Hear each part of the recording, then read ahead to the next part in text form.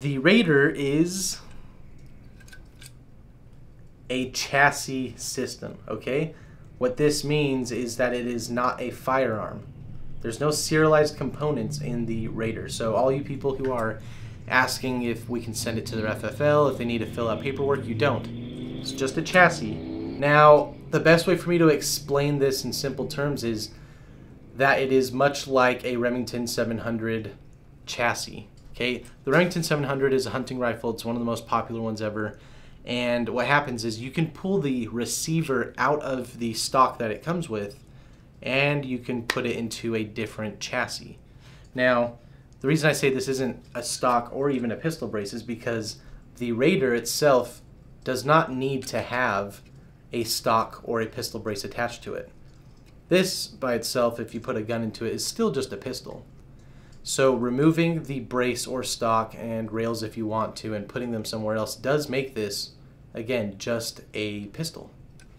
A grip module. Take the P320 here, for example.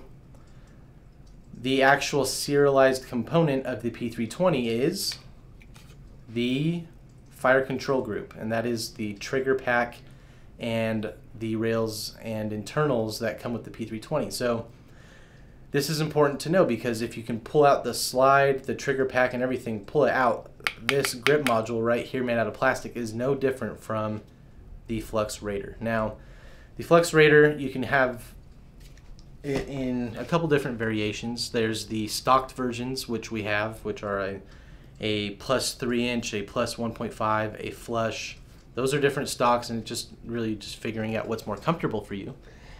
So an example of that would be this guy. This is a Raider I've had for a long time, and this is one that I use with an SBR FCU when I'm in the shop. Um, with the stock on here, yeah, this now becomes a chassis that will turn your pistol into an SBR if you put it in here. Now, it's up to you whether you want to register an SBR or not. That's it's completely up to you because you are the one you are the owner of the pistol itself, the actual serialized part. This stuff is unregulated. This is unregulated. The only thing that is regulated is the actual pistol itself that is serialized. Now, we shouldn't even have to have this argument because the ATF should not be able to make rules, make laws like this. And for all you people that are saying like, well, they're not they're not supposed to, not allowed to. It doesn't matter as long as half the country wants to enforce them as laws. Well, then we have to fight through the legal system to get this taken down yes, it's unconstitutional. Yes, it's illegal for them to make this, but half the country wants to recognize it as legal. That's the problem. If everybody was rational and everybody stuck to the Constitution and the way the Congress works and the way that these agencies should work, we wouldn't be having this conversation, but we are.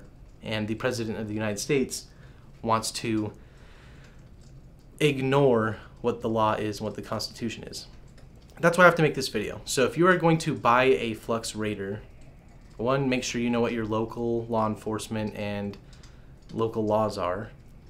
But the Raider itself is not regulated. It is just when you put a firearm into it.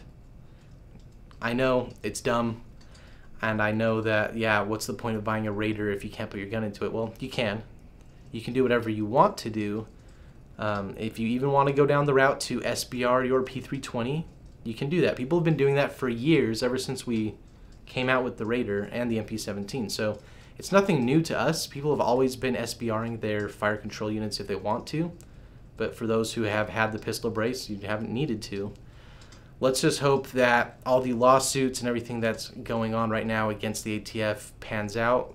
I have a very high um, hope that it does just due to the fact that so many preliminary injunctions have been granted to the plaintiffs in these lawsuits against the ATF. That's a very good sign that the ATF cannot win in court on their standings. And so, either way, this is just a short video to explain the classification of the Raider. A lot of you already knew this, but we've been getting a lot of questions in the emails about it. So, no, if you buy a Raider, we don't have to send it to an FFL. It is not a firearm. So I will leave you guys with that. and I will make more videos here in the near future. So I will see you guys later. Don't forget to subscribe and like.